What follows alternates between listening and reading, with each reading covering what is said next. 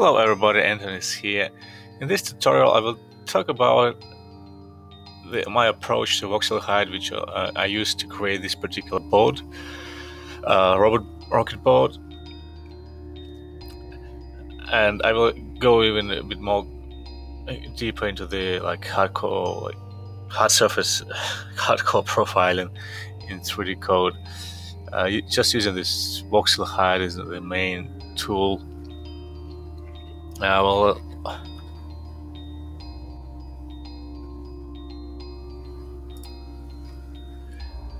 I did a time lapse of how I created this um, profile, part of the leg or, or arm. I will go over the time lapse and I'll talk about how I made it. I usually find that uh, it's easier for me to do the actual work and then talk over it. Otherwise, I try to record and model at the same time, but unfortunately, I just uh, can't really do can't really achieve anything good design wise if I do it simultaneously.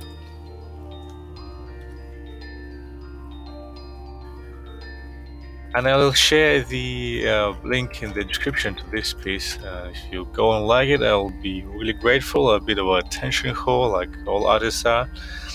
So I'll I'll be happy.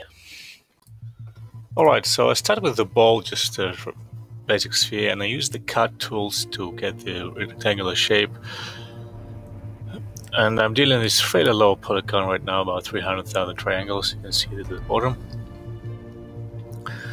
So I'm trying to, I, I want to get a round, rounded top. So just trying to find an angle and thickness. So I'm pressing shift and I'm like um, hiding everything up for the that circle and then I, I hide the bottom. Then I duplicate the layer and uh, do the same you know, operation, hiding uh, at the bottom part and then extruding that further down just to get some kind of shape. It's not just, um, you know,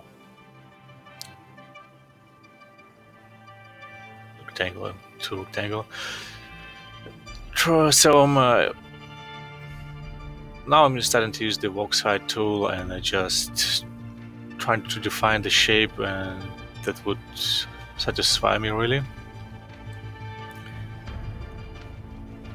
And by the way, if you're like if you are puzzled why do we duplicate the layer every time, essentially the delete hidden button doesn't really work that well inside 3D Coat and you can get some residual hidden polygons uh, when you change the resolution of the object, for example. So I found that you know if you duplicate the layer, then it really deletes the hidden polygons for good. That's why you'll see me duplicating and duplicating every time when I consider I'm finished with with hiding, you know, with hiding of particular parts. That also allows you to have a backup uh, design so in your stack, in your layer stack. So that's uh, like I've got my basic shape right now with major holes and all that. I'm trying to cut through, uh, you know, find some interesting cuts.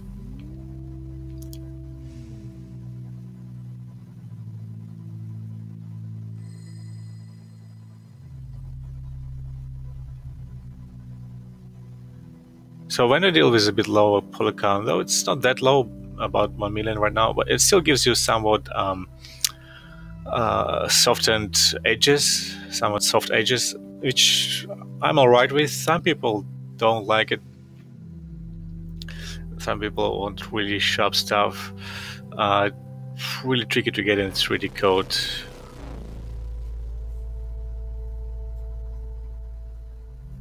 So I'm always rotating the model, trying to evaluate it and see what I can do.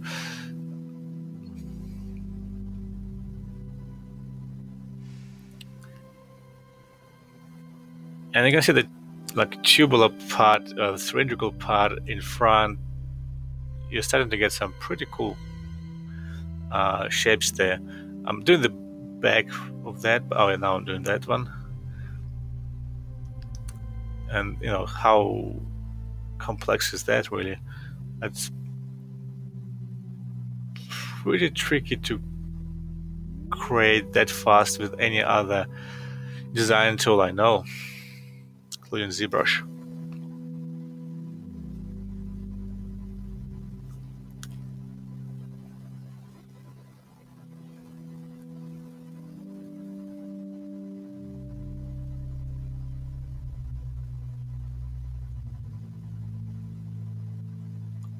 I put a hole and I didn't like that hole. Just thinking what can I add more. I prefer to deal with the, um, I really like the materials in 3D Coat. So every time you pick the metal material, it looks more or less like metal. I press F5 to turn on the uh, uh, shadows. Unfortunately, when you go like over a certain margin, like if you have more than uh, 2 million triangles on my computer at least, and you turn on the shadows and real cast lighting, then it gets really slow. Uh, some materials are a bit more performant than the others, so metal is probably one of the worst. So in the end of the day, I usually turn on and off the lighting just to validate the design, and uh, then I turn it off to carry on.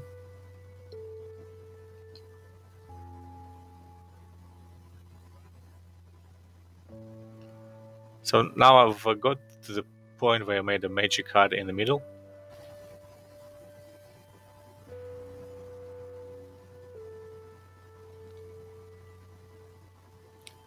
And you will see me later that I will reuse one of the backup layers to add an internal structure inside the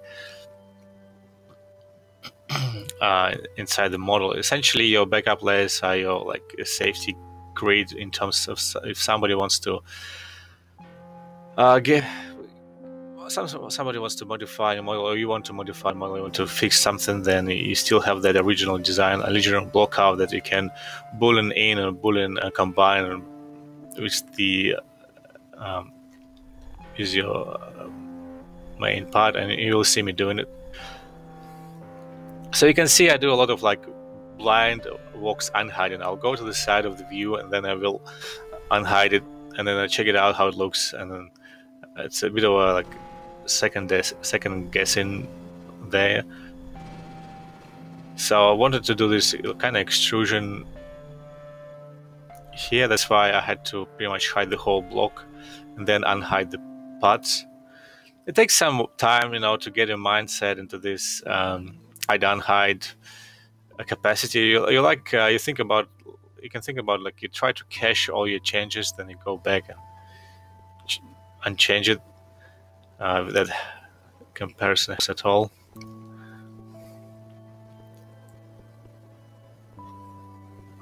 So I'm pretty happy about that extrusion. I'm just trying to figure out a better, better shapes that uh, will look more interesting from the side.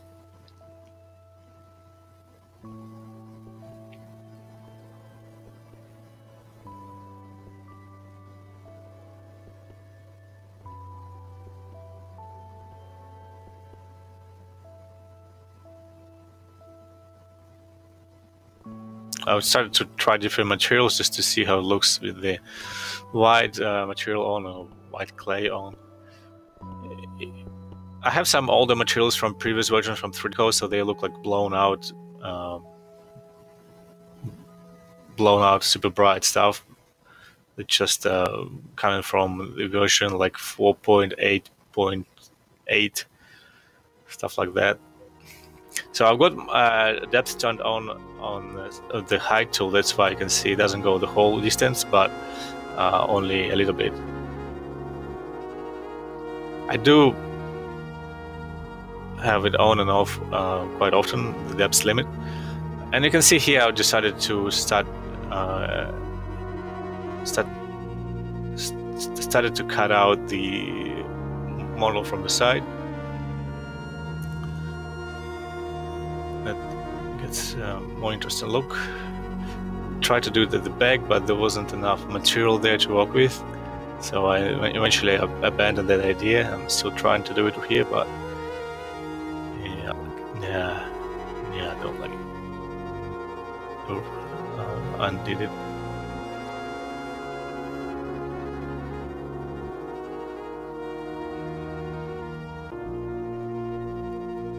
I did that cut. I think that's my, my favorite cut at the top, uh, that rounded thing. Look, the most badass cut out of all them.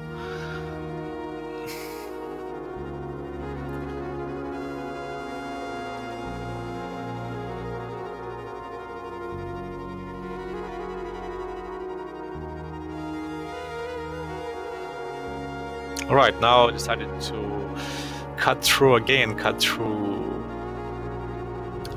through the side. That will get uh, really rich uh, silhouette for the whole metallical uh, metallic profile. So I cut from the side, but then I, I unhide from the middle, so I can get more intricate shapes like I, and hide from the front view. Certain parts, so you always uh,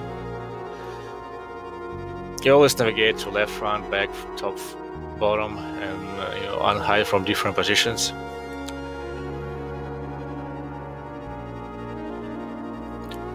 I think uh, this is the kind of the moment where I got the most inter interesting shapes out.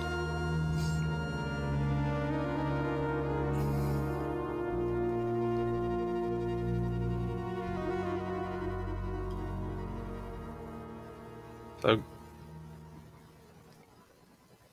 getting some smaller bits and parts. So essentially, in 3D Coat, you usually don't have enough resolution to get a like a, a bold insertion. You know, something like that small is really tricky to get right, uh, just because of the resolution. Unless you put this part to like 20 million polygons, and but if you think about it, if you have a robot that consists of like 20 or 30 parts like that. Each one is 20 million. You just uh, maybe in 10 year time I'll be able to do something like that. But right now it's just uh, it's too limited to do anything like that.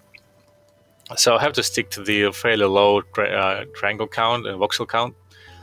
And I already started doing stuff like uh, picking this model and dropping it into ZBrush to add smaller details because live booleans in ZBrush uh, uh, work work pretty well when you have the original design on, and you can just need if you just need to add a, like a bolt or stuff stuff or stuff like that. Uh, just because I still can't really design. Well, not that I even tried properly. I I really like speed in ZBrush. I can't do has uh, designs that as fast as I can do it in 3D Coat. So I'd rather do designs here and then do some finishing touches in ZBrush.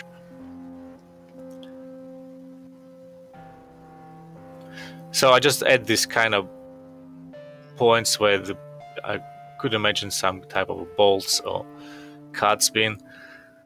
From the distance, it will still,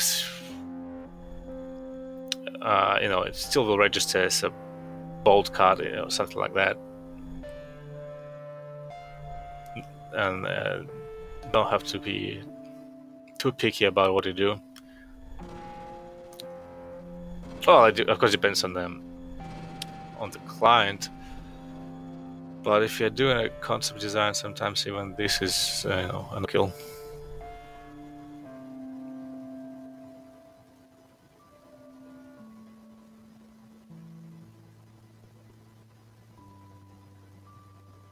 Like I had a client when I just um, like if you wanna, uh, I decided to add more details to his um, project uh, that I was doing.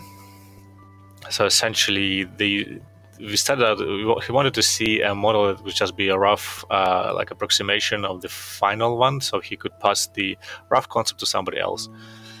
But I ended up doing the whole thing, and it was good enough to be baked for the game. You know, it was a mobile game, so that's why it was like mobile you know like AAA game, you know, but in mobile terms.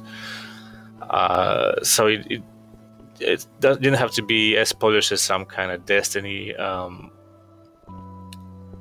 mech. That's why all this kind of insertions, Let's just rectangular holes, were good enough. Okay, so um, right now what I'm doing, I'm I, I got to my backup copy, backup layer, and I started to uh, I, I hid the whole thing inside the layer and I started to unhide some structures inside just to add some uh, more intricate details inside of it. So I isolated the layer and I started to clean up the whole thing. And then I go and do the cuts.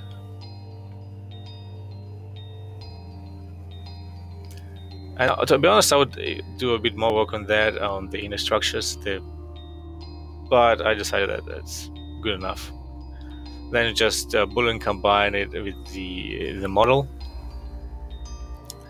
and got the fun piece. Yeah, guys, thank you for watching and uh, see you next time.